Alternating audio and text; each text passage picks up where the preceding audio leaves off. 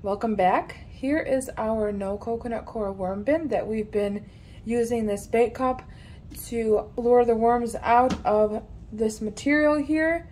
And the last time we checked in here was 10 days ago. It's probably a little bit too long, but we have a change of plans. I kind of have a feeling that we need to get this bin sifted and get the worms removed from this material into the new bin. It's been drying out for way too long. And then I've been seeing a few fruit flies here and there. So I my guess is it's coming from this bait cup. I just want to get these guys into a better space for them, into that new bin, and use the castings in the garden. That's what we're gonna do today. We're gonna check in on the bait cup and then sift the material, get these worms out of here, and this bin will be finished. Let's start by removing the bait cup. I'm not gonna go digging through the material. I wanna kind of lightly scrape the top and then sift that and then keep the worms going down. I'm gonna grab this paper that's here too with some worms.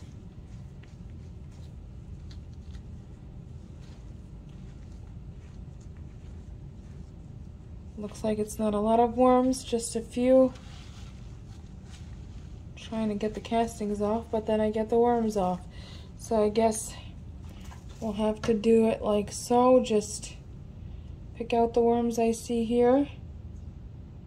Let's do this first. Let's look at the bait cup first, and then we'll sift this bin, and that'll give me more room to work with here while I sift. So let's grab the new bin.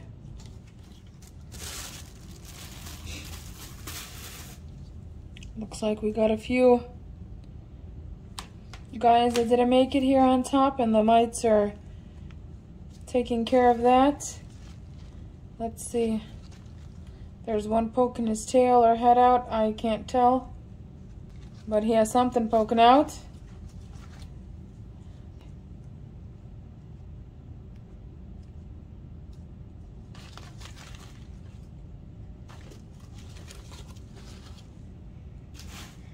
Let's make some room so we can dump this out. Oh, we already dumped out the other material here in the center. So let's pick a different spot. How about we just do it right here on this end?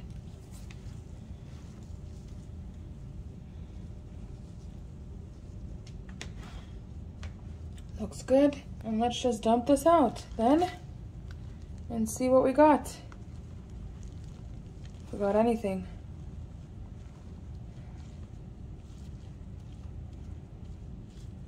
Seeing a few takers in here. That apple core is still in here. The end of a watermelon without any flesh. Oh, there's some worms right here.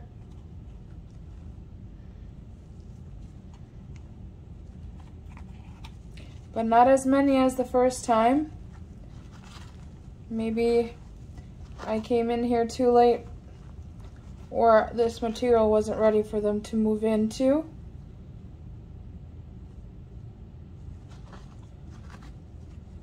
I'm going to try to break this apart so we can place this in the bin as well so it can break down.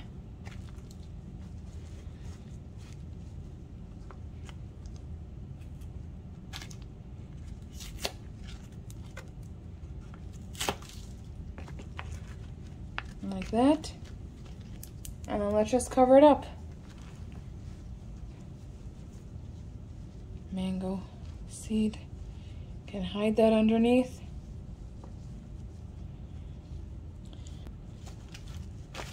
So we'll keep it like that. I won't cover it totally because we'll be getting a few worms, hopefully more than a few, from when we sift the castings from the no coconut coir bin.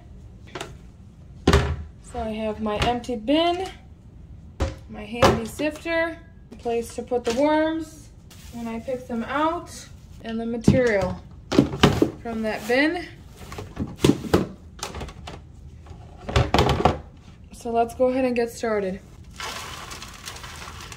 So the material on the top is really dry. It's already like clumped up into hard pieces.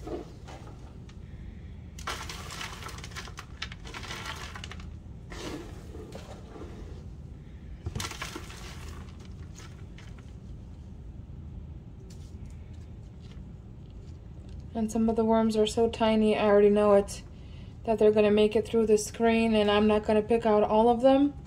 So it looks like we'll have to bait these guys out of here from the, the sifted castings.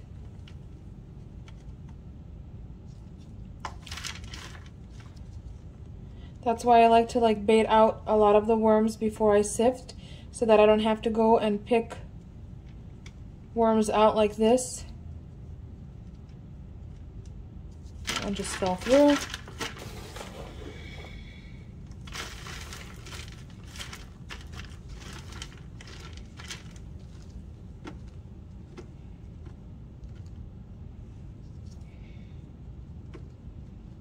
These guys are like really skinny from being in this dry material. So they'll be happy to go into their new home. Let's just add a little bit more and kind of shake it. And whatever unsifted material that didn't go through the sifter, I'll place off to the side. And then we can put that material into that new bin so it can continue breaking down and get moisture. There's a lot of worms that just went through that sifter. Somebody recommended that I get a sifter that's 1 8th of an inch so that some of the worms don't make it through in the cocoons. So it looks like I might need to get that because the one that I have now, it's 1 4th. So it's slightly bigger the worms and some of the cocoons do fall through.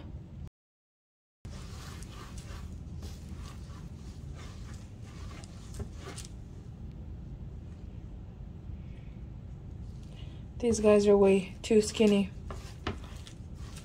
So let me just spray down this material a little bit, kind of layer it so that there's moisture that goes back in here. I've let this material dry out way too much.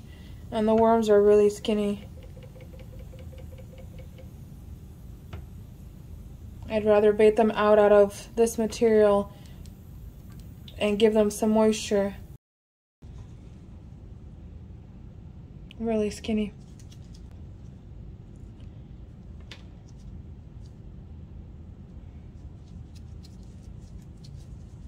Let's continue. And what I've noticed from not using any coconut coir is that there's not a lot of material. With the coconut coir, you get like a whole bin full, and sometimes you need a second one. And here it's not even going to be full.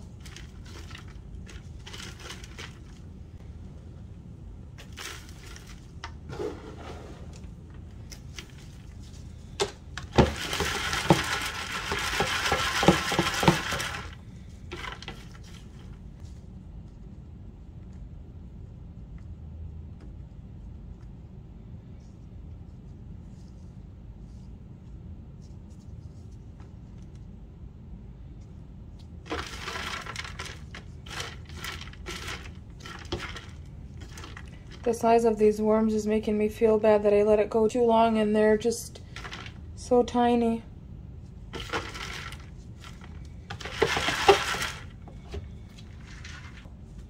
So let's see if I can pick out some more worms out of here. They're not even like, they're barely moving.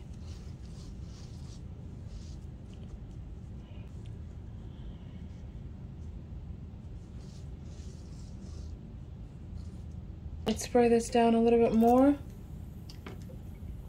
Maybe I'll get some movement after I spray it. Yep, I'm seeing some right here.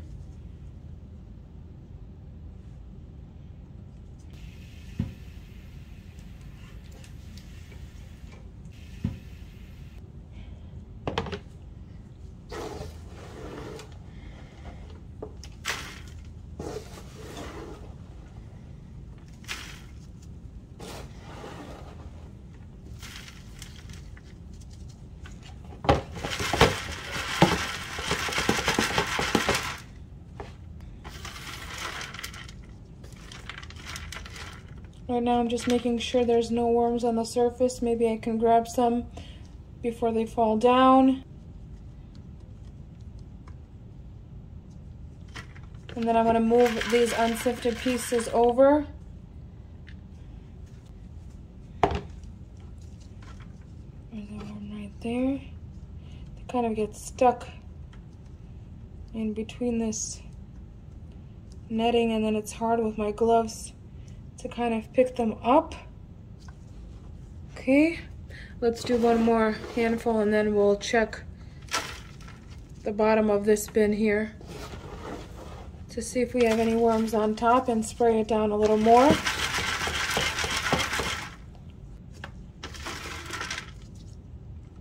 Well, there's one good sized worm out of a few.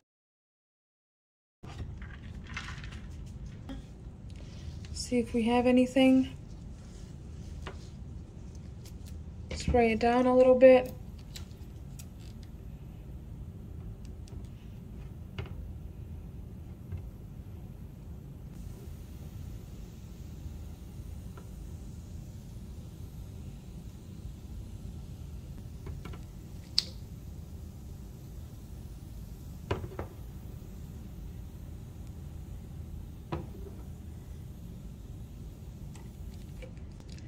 Seeing a worm right here. Move them over. And then I, I see some skinny worms here, but I'm like afraid to even pick them up. So they're like so fragile, I'm afraid I'm gonna break them. Let's finish sifting the rest of the material.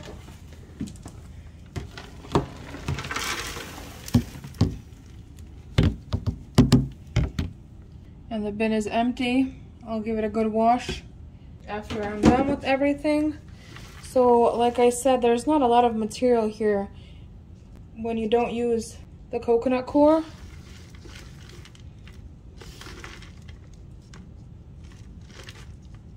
And there's not a lot of worms left. My guess is that they probably all started dying off since it was too dry and that's kind of my fault at this point.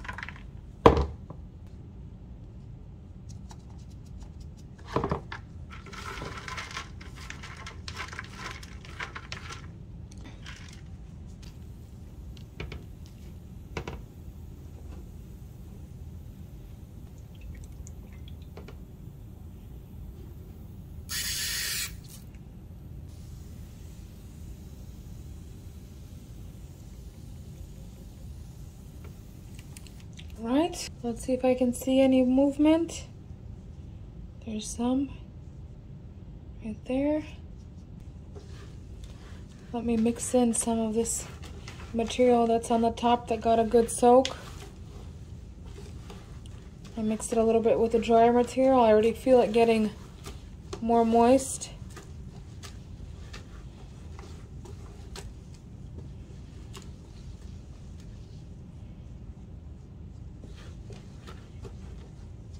And even if these like bigger pieces go into my garden, I don't really care about that. It'll just break down in there.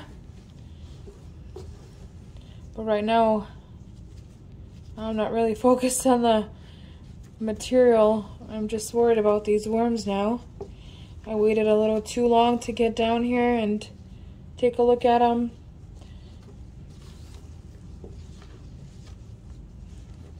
You know, when something goes wrong in a bin, something goes wrong in a bin. And now it's like only I can blame myself for waiting too long and drying these guys out.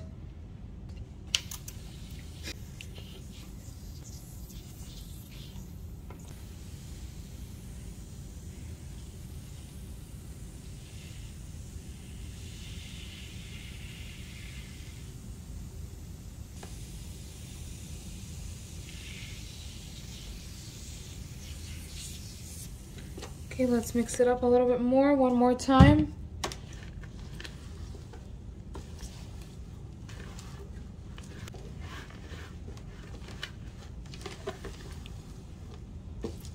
This material is turning into like black gold one now that it's getting some moisture.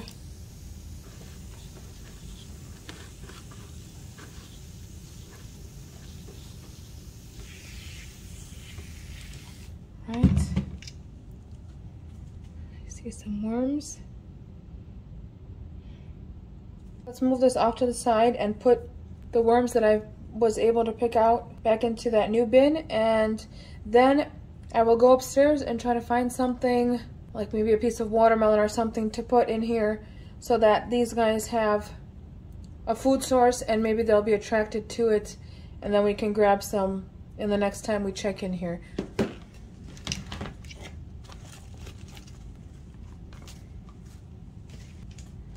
So here is what I was able to get out. As you can see, I've given them a good soak. It's not a lot of worms at all. I'm not really happy about it because I know there were so many more in here.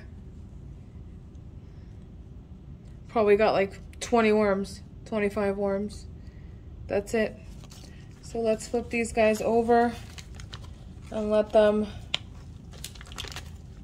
get back to health and start thriving in this bin.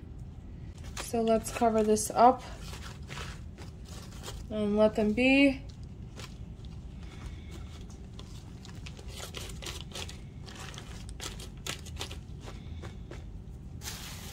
Put the plastic back on.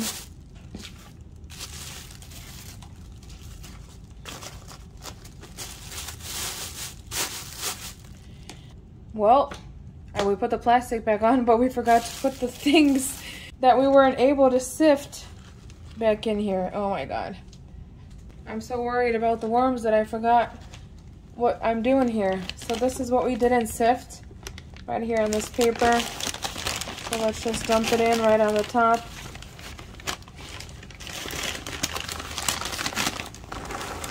Like so.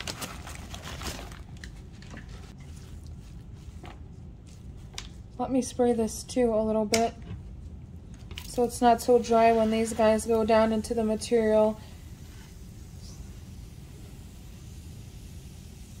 They look like charcoal, like little tiny pieces of charcoal, this, this dried up castings and material. Now we can cover this back up.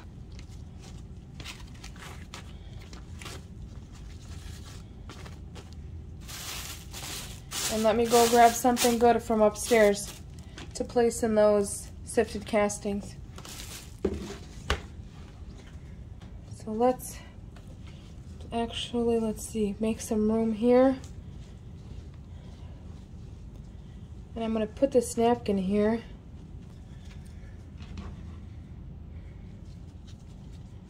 So I can place the frozen pieces right on top of it. Let's cover this up. So we got probably a third of this bin here of castings. So not a lot within that six or seven month period. Oh, I got another good size worm. I'll move him right away.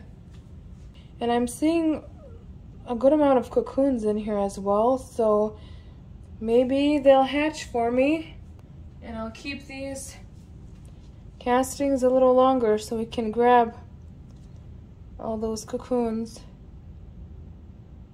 And then I'm just gonna place this paper right on top like this, just to give it kind of like a little covering.